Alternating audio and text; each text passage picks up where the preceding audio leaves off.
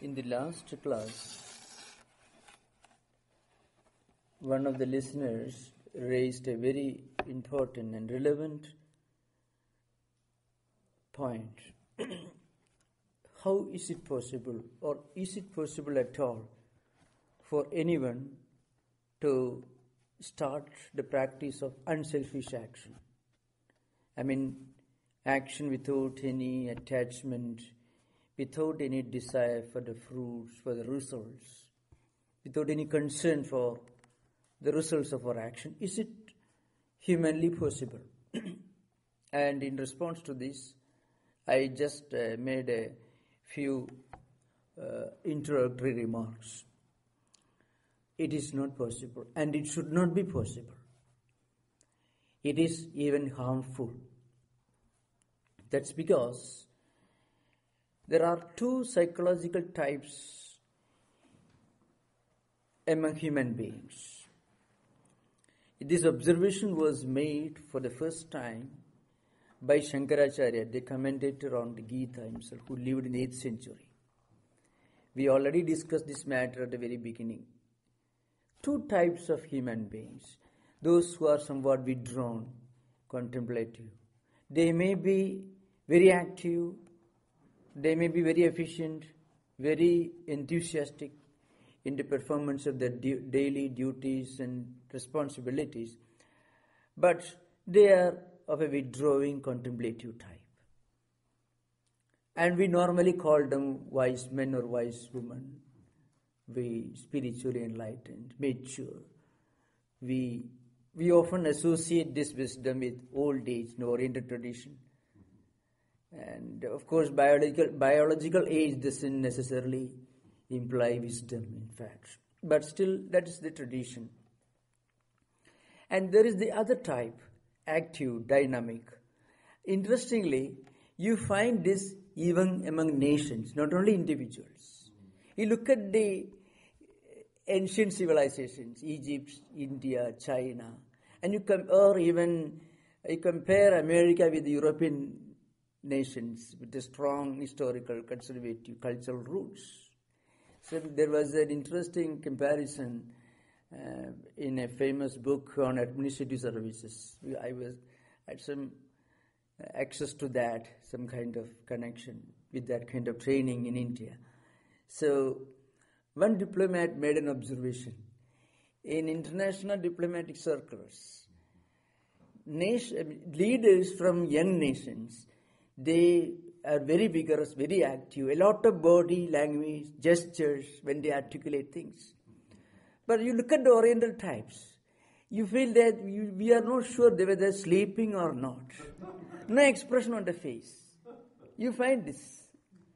Half, I, the lids are half closed.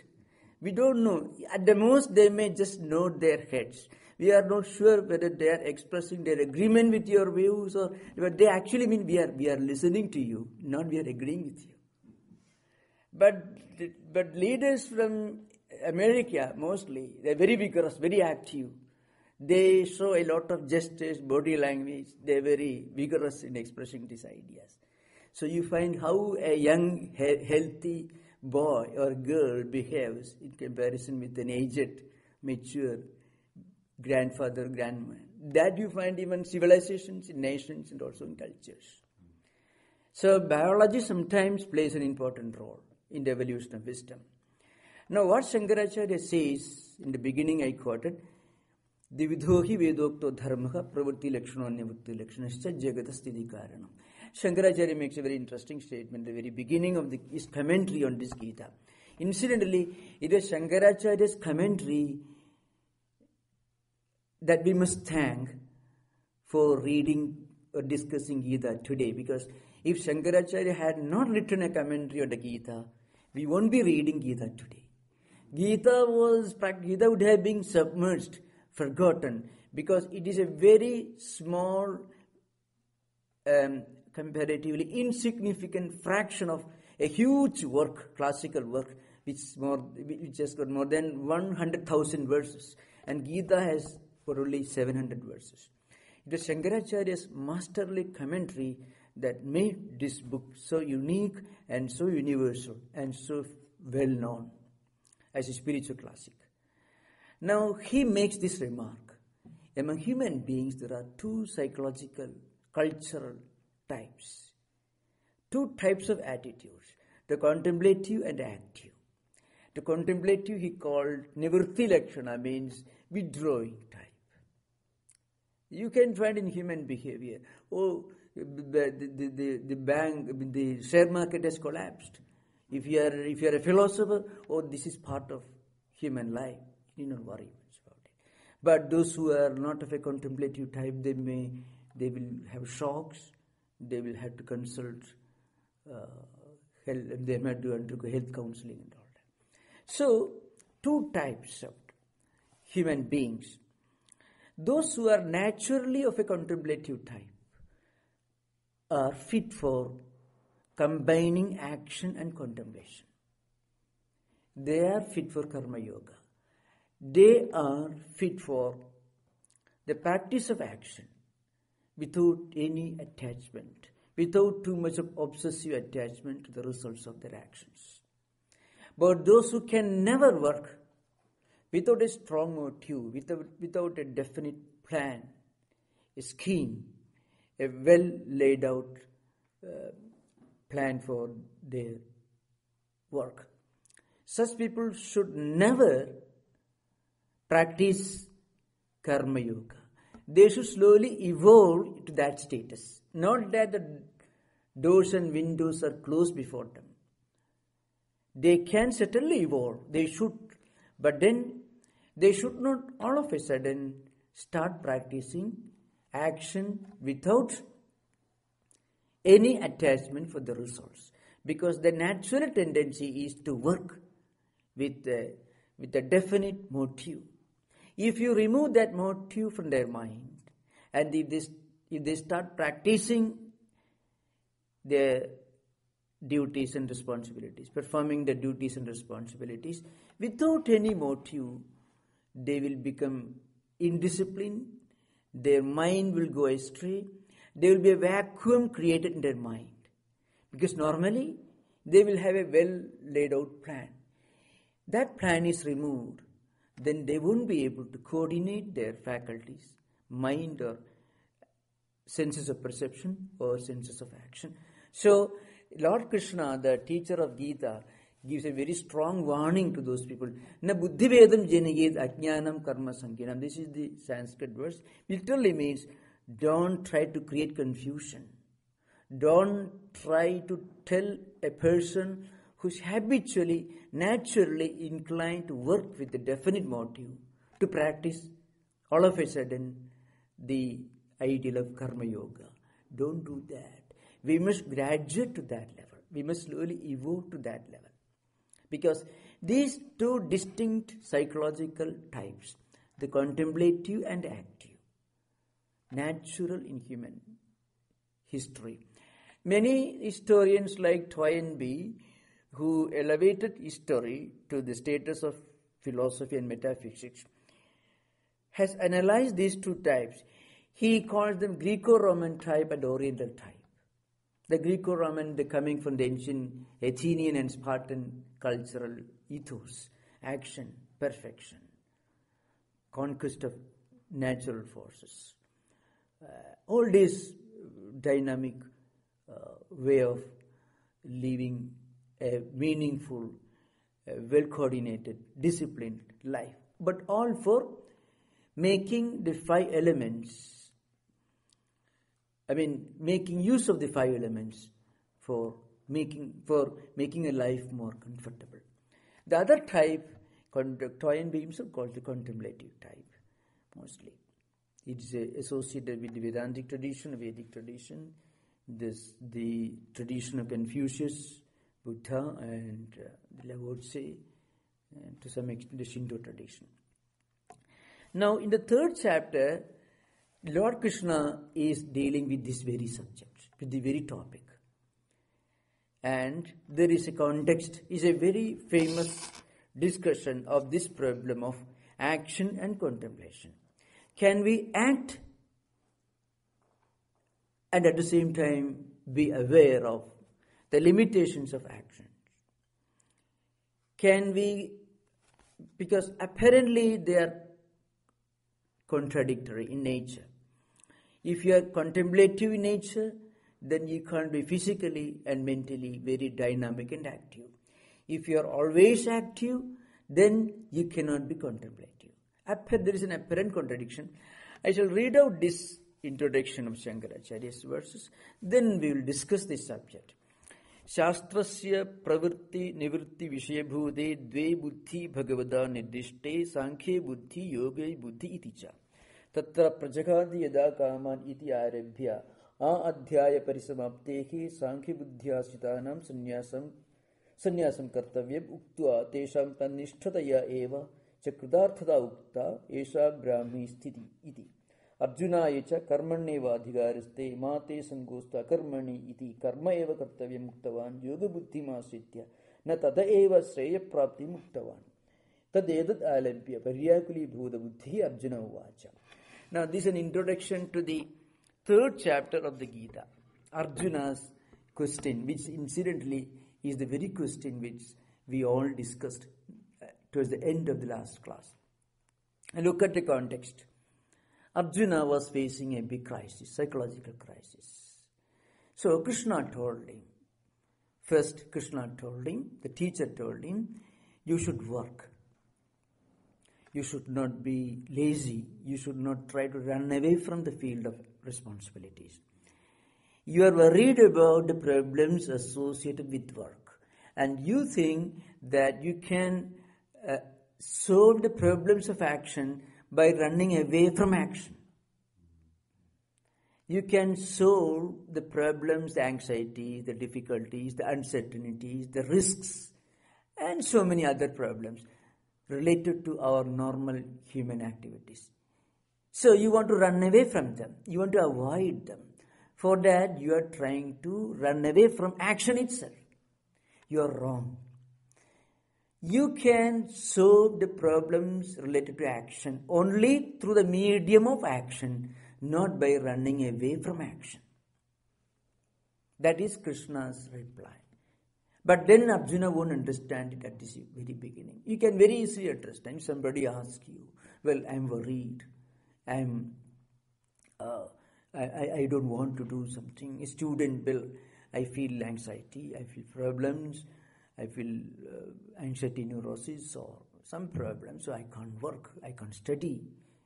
Now, normal our normal response will be, well, you you should do, you should work. If you don't work, you won't get results. You won't get a job. That's exactly what Lord Krishna tells Arjuna. If you don't work, and if you fail, if you get a low, uh, low grade, then your parents may have spent a lot of money or may have taken, you may be working hard for tuition fees. All this will go in vain. All your efforts will go in vain. So you, your whole life will become a failure. Therefore, you must work. This is the first reply which Lord Krishna gives to Arjuna. And after giving this reply, the teacher tells him, Atman is only reality. Consciousness is only reality. This body comes and goes. But there is something within this body which doesn't come and doesn't go because it always exists. It is Atman, it is consciousness, it is universal soul. It doesn't die. It doesn't get destroyed when the body gets destroyed. This high philosophy is preached at the next stage. So, uh, and then Lord Krishna says, these great spiritual seekers who want to reach, who want to realize this supreme consciousness, they withdraw from everything, they contemplate, they meditate. So Arjuna thought, then I would rather do that. See, that's, that's what he says. Krishna, when Krishna told him about the characteristics of a yogi, which we described in the last in the last two three classes, from 55th to 72nd verse of the second chapter of the Gita. Long description of a highly evolved person, a spiritually evolved person who sits calm and quiet, contemplative, who is not worried about anything, who is not shocked, who is not moved, who doesn't seek action, but who doesn't avoid action either. Like an ocean. Hundreds of rivers pour their waters into ocean, empty their waters into ocean, but ocean remains totally unchanged, with unmoved. It doesn't request the rivers to bring water. It doesn't ask them not to bring water. He remains calm and quiet. That is a comparison given to the mind of a yogi, of a supreme spiritual person, enlightened person. Now, now Arjuna told Krishna, Well, I would rather be a yogi than a spiritual seeker, than an average man who has to do all this work, everything. Now, if suppose suppose uh, instead of Arjuna, a great spiritual person like Buddha had told, or Jesus had told, Krishna, this teacher, Krishna would have agreed, all right, you are fit for that. But Arjuna was a very, very ordinary man. Arjuna was a man of action. Suppose a businessman or an, or an official or public servant who has to work very hard, he finds there are some difficulties in the work in the working place, and he says, "I'm going to resign. I would rather lead a contemplative life." But the, the next moment, he will be seeking another job, and there also he may find he may encounter the same type of problems. The problems are in his or her mind, not outside. So, the first stage for any human being is to do one's duties and responsibilities with full dedication, with full identity, with full concentration. That's the first stage. If you, if you can work only with a definite motive, if you can work only with a scheme, with a, well, you may even selfish motive, but to do that, then remain inactive. Because if you, if you remain inactive without reaching the status of contemplation, that inactive state of mind is self destructive. Even if we do not consciously engage ourselves in our duties and responsibilities, our mind and our senses of action and senses of perception will invariably be involved in different activities. If we do not deliberately try to work ourselves as a, I mean, as a master, we will have to work as a slave. So, the first instruction to any any ordinary human being is to do, our duty and responsibility. If we cannot do that as a karma yoga, then do that as an ordinary with, as, a, as, a, as a duty and as a responsibility. So, who is fit to be yogi? The one who is already full conscious of his duties and responsibilities, who can, by his or her very nature, perform his duties and responsibilities with efficiency and enthusiasm. Such people alone are fit for the practice of karma yoga.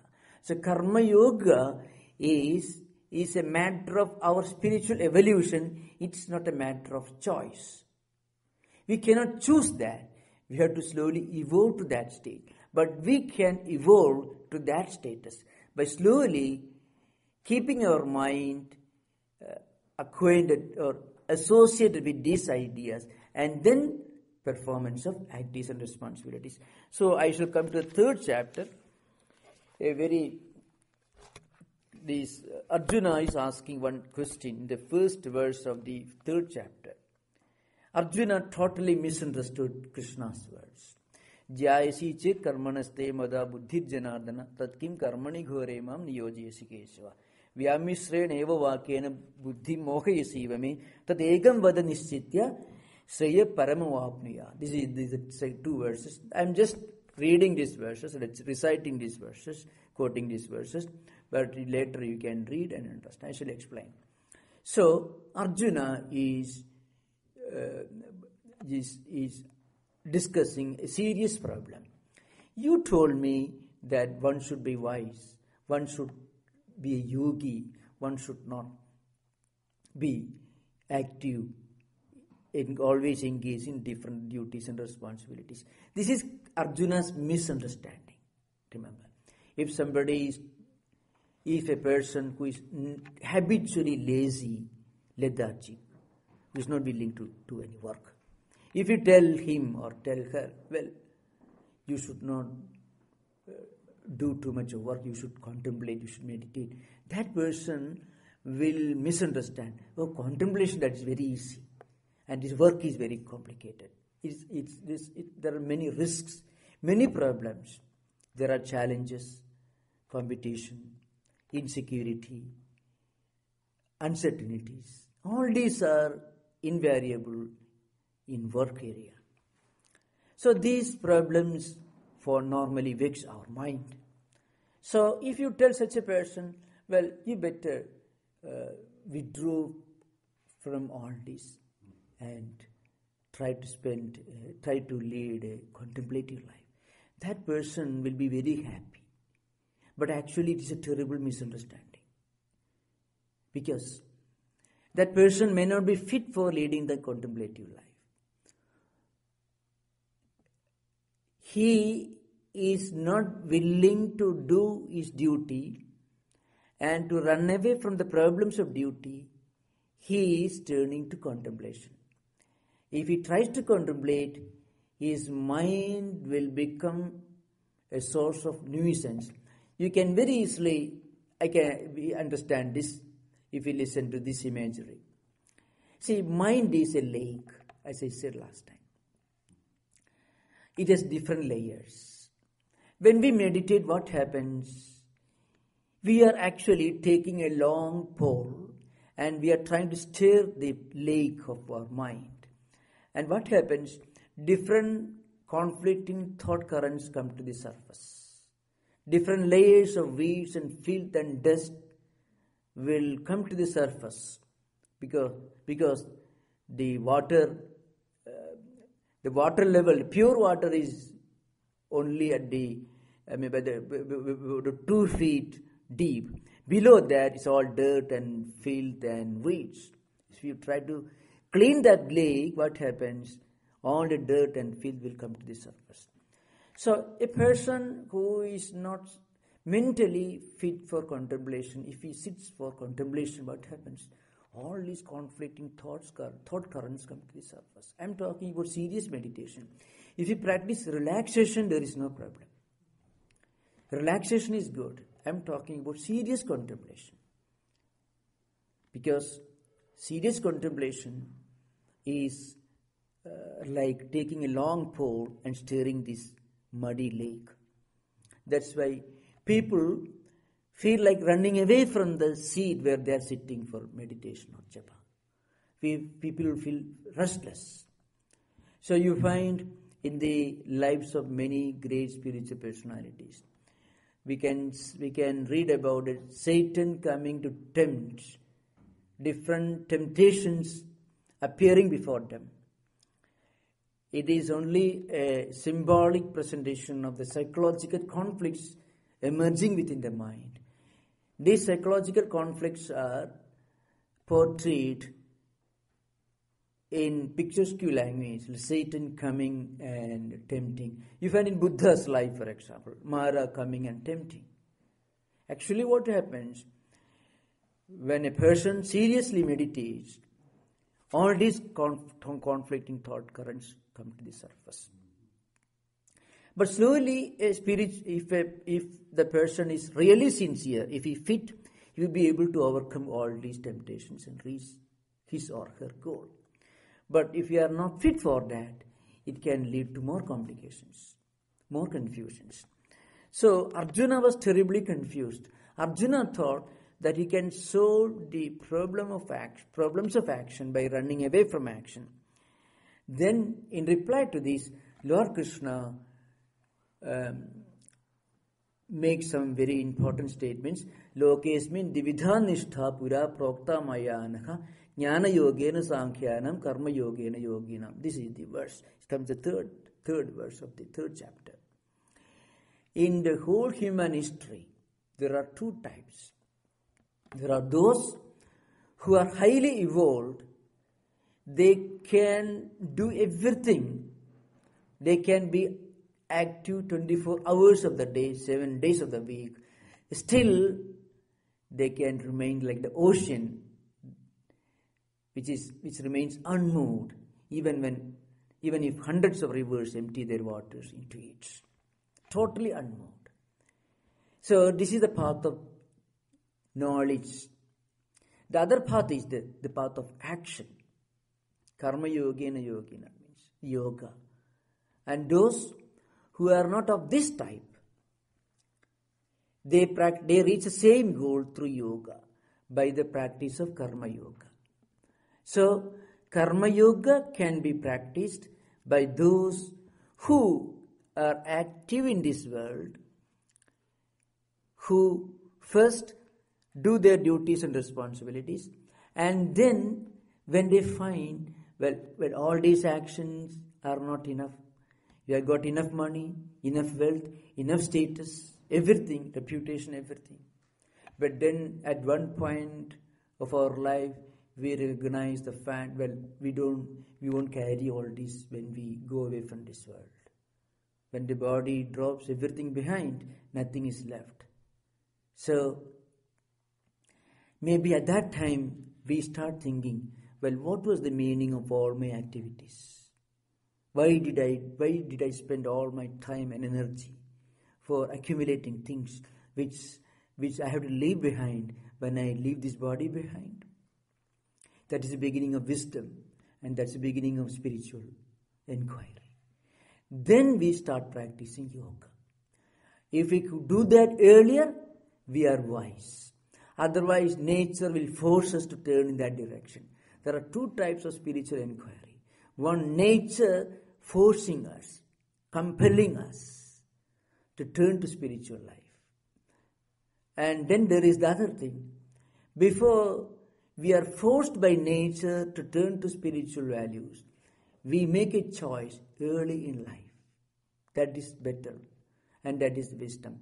One important purpose of reading the scriptures or listening to this idea is we we get a chance to get this idea in time and start a new chapter in our life. Give a new direction to the course of our activities. In fact, that is one important purpose of the scriptures. So, the commentator of this scripture, Geet Shankaracharya, says, with regard to the role of scriptures, it could be any scripture, Gita, Bible, or any spiritual literature. What is the purpose? It tells us to do certain things which we normally do not remember to do.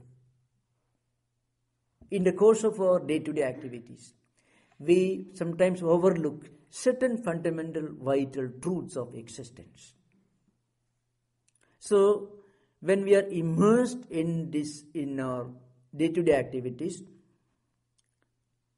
maybe for acquiring the necessities of human our life, wealth, comforts, and many things like that.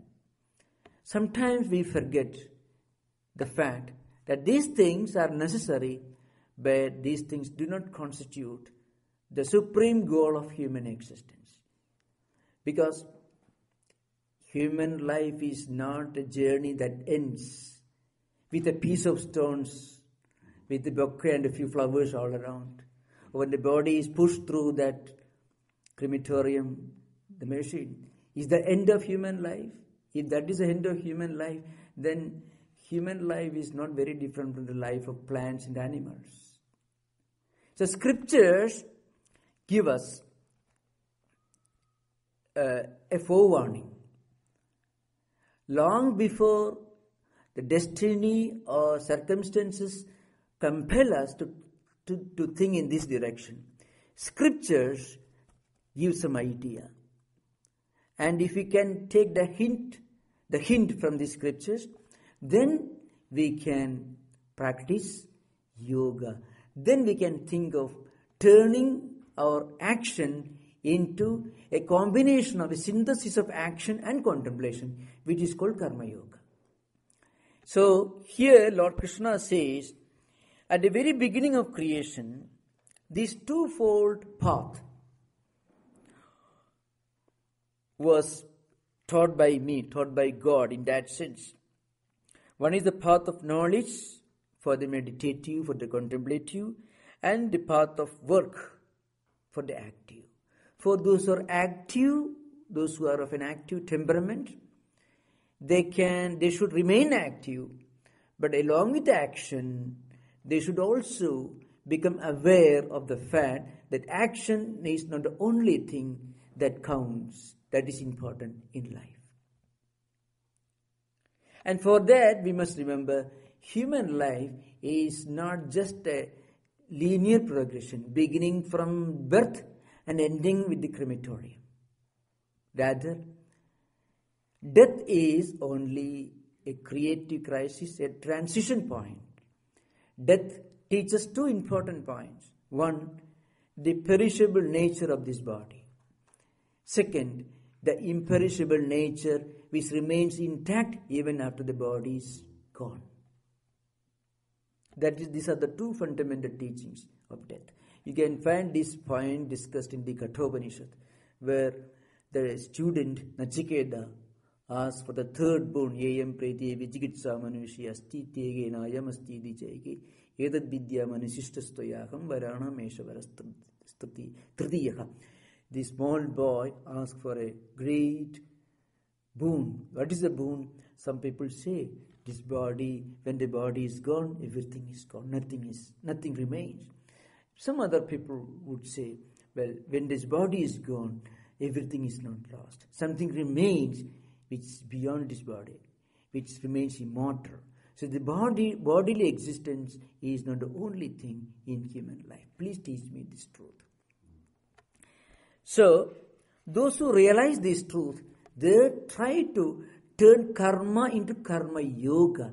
Because if you are satisfied with karma, then a point of crisis comes where we, if we are lucky, we may get an opportunity to listen to these ideas, these scriptures, where we get a chance to turn a new leaf in our life.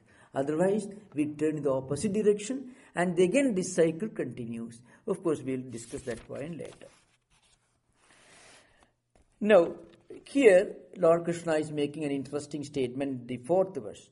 न कर्मणाम अनारंभ नैष्कर्म्यम पुरुषोस्मृते न च संन्यासनादेव सिद्धिम samadhigacchati. It's a very interesting point. now the point is this, I have already discussed this point earlier. By not doing work, you cannot reach the highest transcendental state of spiritual enlightenment. Not, not by giving up work. You have to remember the context, Gita's context. The context of Gita should be kept in mind to understand some of the vital points. But you should remember the philosophy of Gita goes far beyond the historical context of the setting of Gita.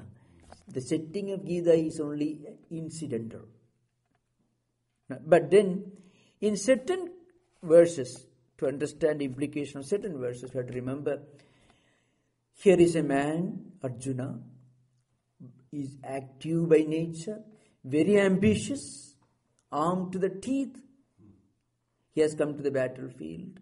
He is a soldier. He is fighting for the good. He tries to protect the good, the virtues from the wicked, evil monsters. That is the duty for which he has come. So he is a good man. He may be fighting, but he is fighting only for preserving peace in the world. So his action is not bad. But then what happens is, he says suddenly, he says, Well, I am not willing to work. It's not very different from a farmer who refuses to do farming, or for a pilot who mid-air says, Well, I won't, I won't work. what will be the result? Not very different. If a pilot is uh, flying his plane, if he says, No, I am not willing to work anymore. It's not very different. That's the Arjuna status. So, and the reason why Arjuna said this, I mean, how he expressed his unwillingness to work. Not that he was lazy, he had already a good reputation for active, dynamic, uh, efficient characters. He was a man of action by reputation. But then he said that I'm feeling anxious, I feel worried, I feel depressed with regard to my duty. So I want to run away from these inner problems and crisis. So I want to avoid action. And if I could avoid action, then I can enjoy peace of mind. Naiskarmya really means a state of transcending action. I already stated this in the last two, three classes. When you reach the highest spiritual wisdom, you can maintain, we can maintain our mental poise, tra- inner tranquility, even in the midst of all activities.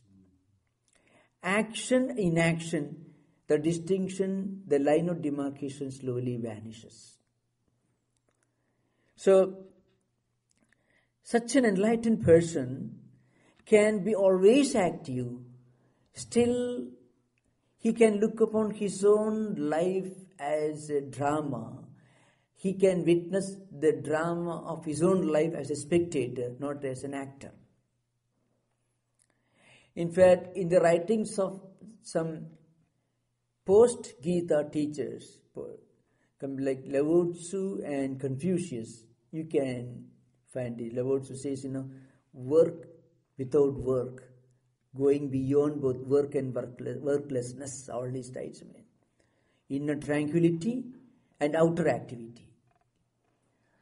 Because outer activity becomes a problem, it unsettles the mind only when there is a link between action and mind. When mind and action remain detached from one from the other, then we could be always active but enjoy perfect calm, peace, and harmony within. This is the state which Krishna calls Naiskarmya, means a state of transcending action, a state of transcending action and inaction. Always can one can remain active, but without any worry, without any anxiety, without any botheration. In fact, that is for such a person, it doesn't make much difference between action and inaction. If you can look upon every act as an act of worship, then action actions do not make us exhausted or tired. Worship here doesn't mean the physical activity involved in external rituals. You have to remember this point. Worship here means an action surrender. When we worship, when we do anything sacred with great concentration, we forget ourselves. Whatever we do with a great sense of sanctity, as, as, a, as a sacred act, we get so fully immersed in it that that act of worship doesn't make us exhausted or tired. If somebody tells I am I am tired of praying or I am tired of meditating, that person is not fit for praying or meditation. That's what it means. One could be tired of walking, running, but if one becomes tired of meditating or praying or contemplating, it means that person is not mentally ready for that highly introspective action. Because introspective action or contemplation essentially produces inner harmony, peace, and tranquility. This is the state which everyone is trying to reach.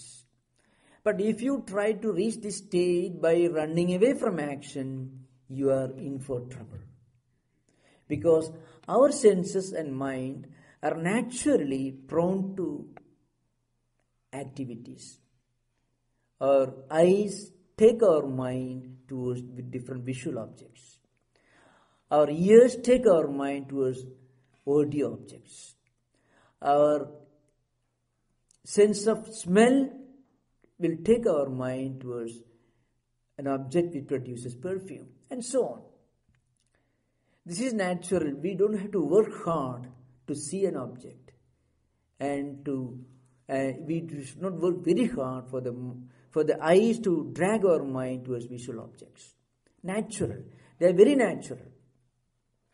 Therefore, if we do not try, if you do not learn the technique of diverting these senses of action, senses of perception, and mind towards creative spiritual channels, then they will automatically drag the mind in the opposite direction.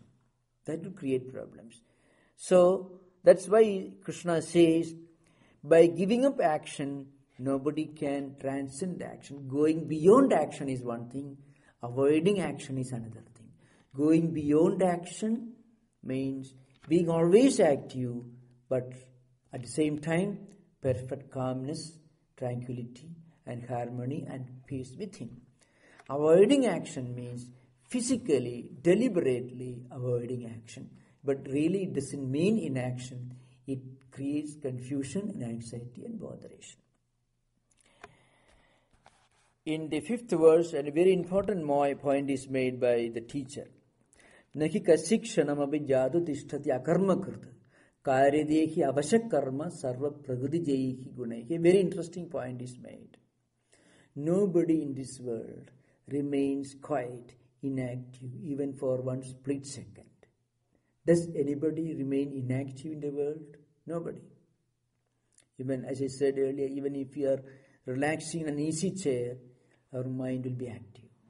Mind will be speculating, thinking, dreaming of different things. Physically, we are inactive, but mind becomes hyperactive. So, one can never remain inactive mentally and physically at the same time. If we do not try to give a creative diversion to our mind and the senses of action and senses of perception, then mind will be dragged into self destructive channels.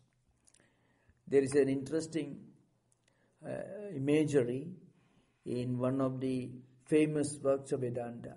Shankaracharya draws the picture of five creatures showing how they lose, how they lose their life, how they get destroyed, how they get ruined.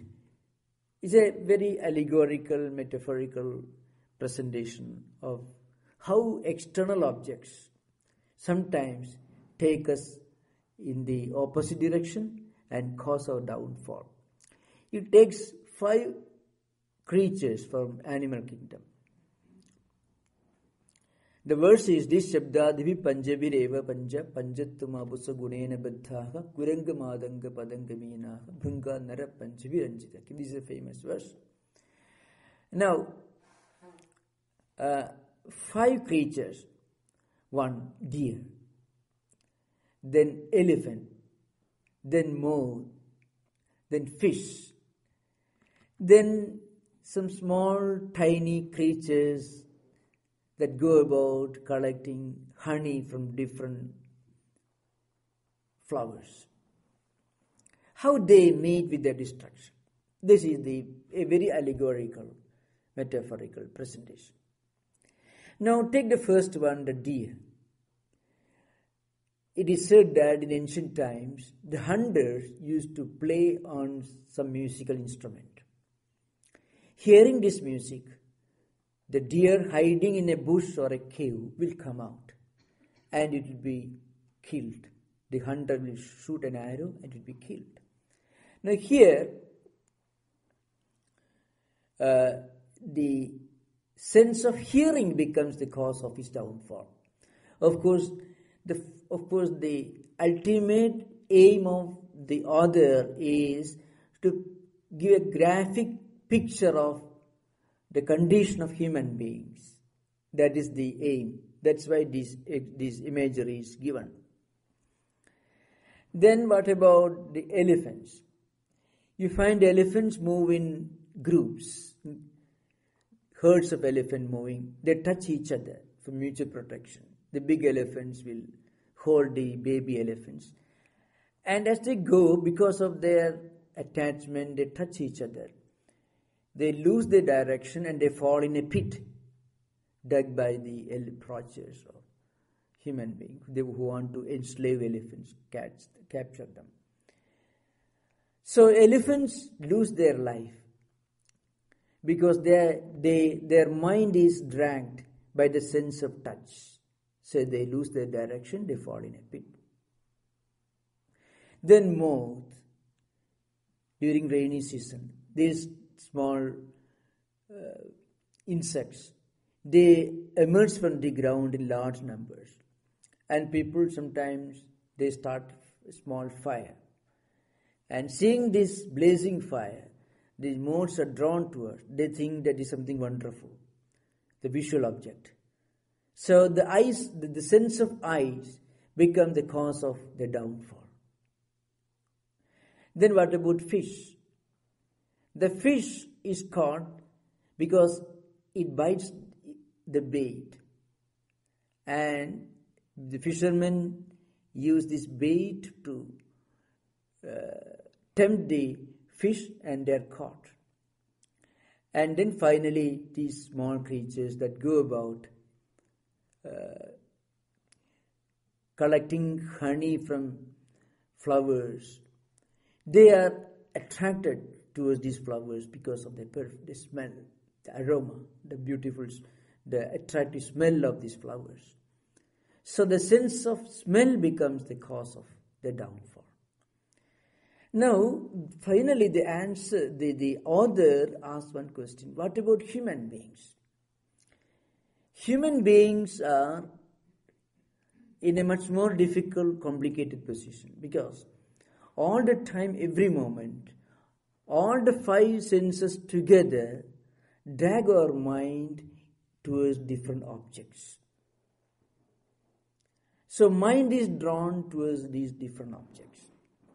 That is natural. Similarly, we human beings are by their very nature active. If they do not plan, if they do not deliberately discipline their actions with a definite motive, with a proper, well laid out plan, what happens? Our activities or actions become chaotic and they do not produce any desirable results. So it is natural for every human being to be active. So the first stage is to be active in a very intelligent manner. First, we must shake off lethargy, laziness, and do our duties and responsibilities, maybe with a well laid out plan, with a scheme, and all that. That will give us success. Gradual evolution of the human type is given here. Very natural. See, look at the history of human civilization with the coming of modern science and technology, with the industrial revolution, a small, small, tiny nations of Europe, Britain to begin with, then Holland, then Germany, much later, much later stage.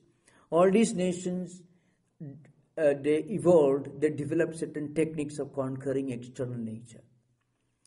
So suddenly, within 150 years, they all became rich. Then sea route was discovered to different colonial colonies, and they amassed wealth from all over the world and they became rich. Now, this is naturally the first stage.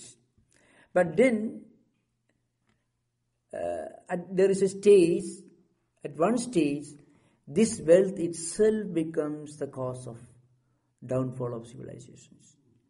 Science itself is a great friend, but also it could be a deadly enemy in the hands of the wrong person.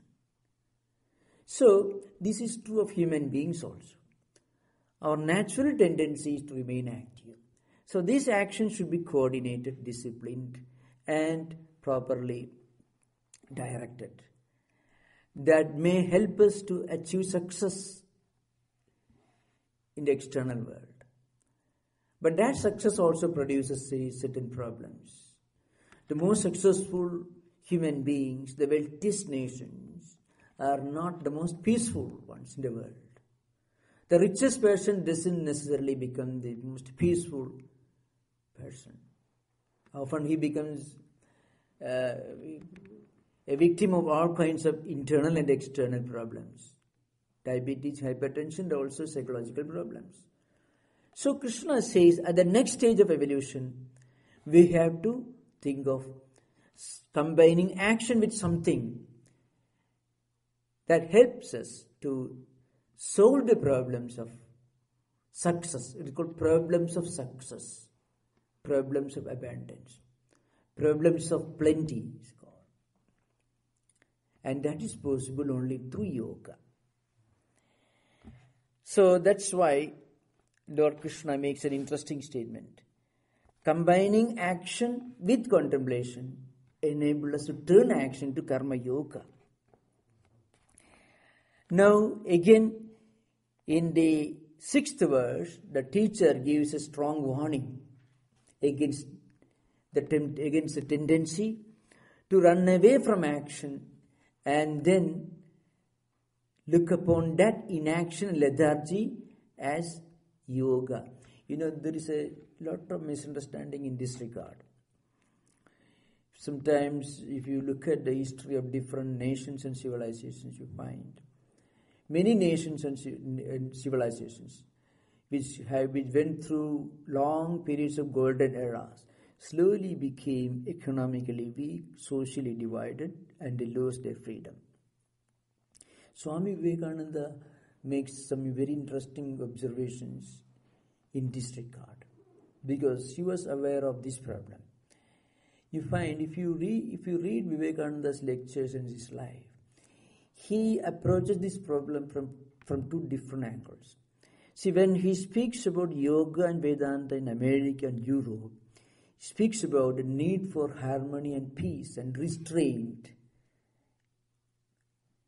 You have accomplished so much through scientific and technological revolution. You have to remember the fruits of industrial revolution benefited only the European nations to begin with. Later, uh, America also got the benefits. So Swami Vivekananda, when he speaks about this problem, he has two approaches. When he addresses Western nations, he emphasizes the need for self-restraint, spiritual values, because science and technology and economic prosperity may give us the ability to conquer external nature, but it also produces a lot of problems anarchy and indiscipline and licentiousness in private life, in personal life, in family structures, the collapse of family structures. All this Swamiji, Swami Vivekananda mentions.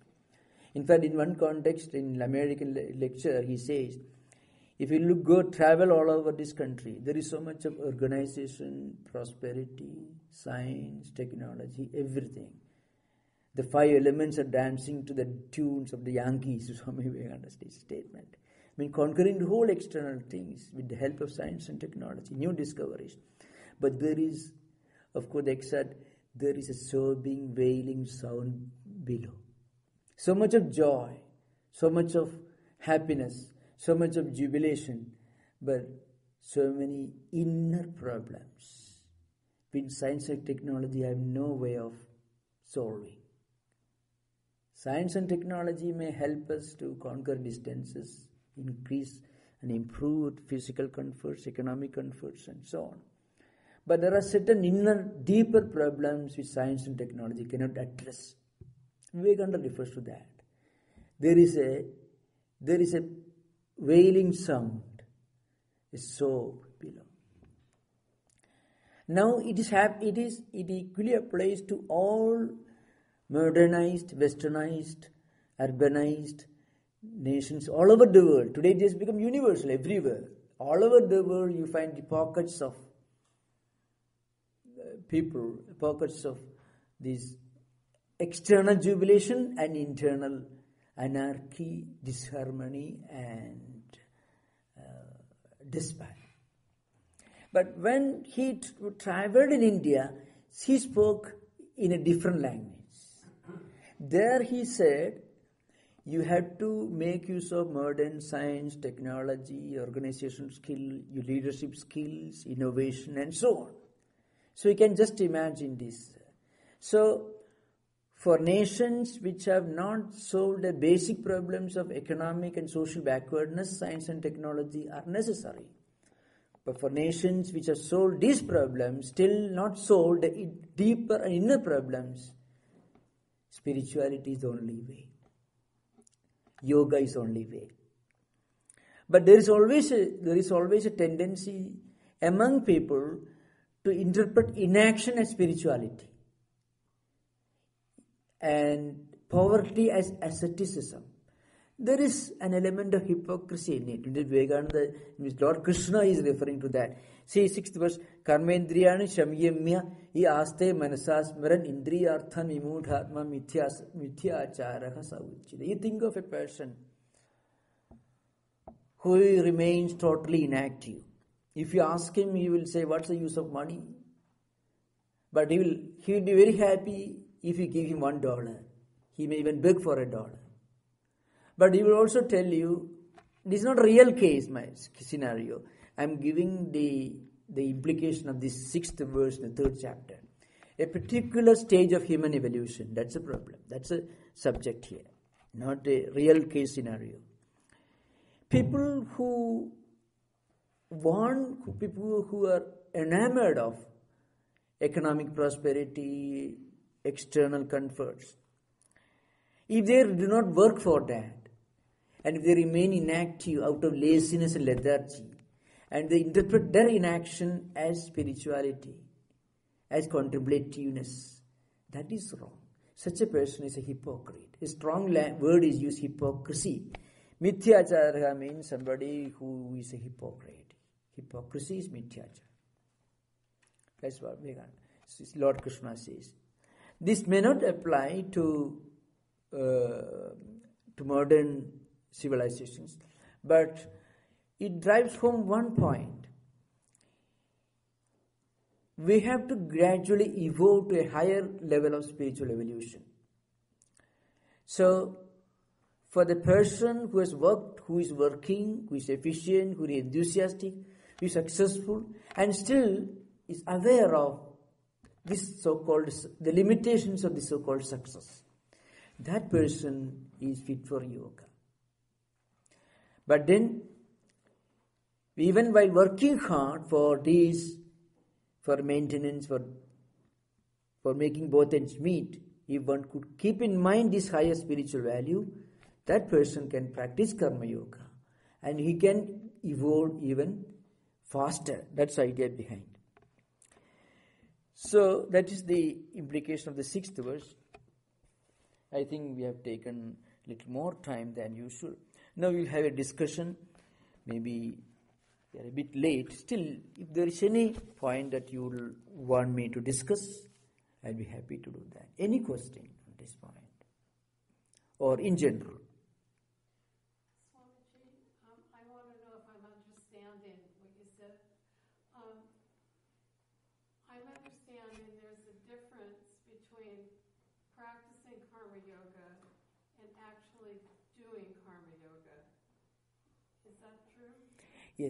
Practicing karma yoga and doing karma yoga are really the same. Uh, you know, practice of karma yoga relates to a, an overall attitude.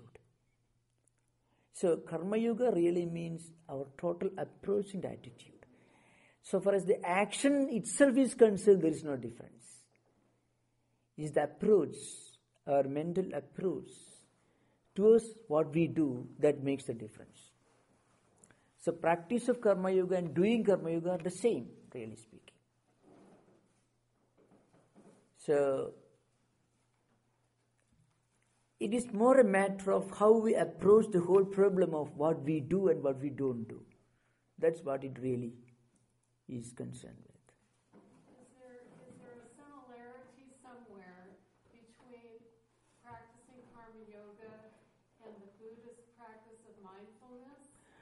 Oh, yes.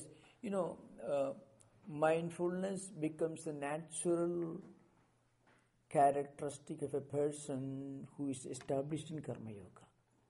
Because that, that element of detaching our mind from what we do enables us to detached from anxiety and concern for the results of what we do. It's really Karma Yoga itself. My, it is mind that gets attached to what we do and, and also its result. So mindfulness means being aware of it. So that enables us to de-link that connect, connection between mind and the results of what we do. That's the idea. Attachment is only the link between mind and the results of actions. So that is broken through mindfulness. That is a natural state of a person who is established in the ideal of Karma Yoga.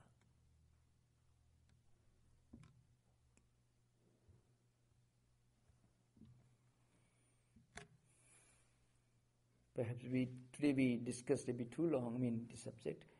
We will. If uh, there is any more question, we are open. I will conclude.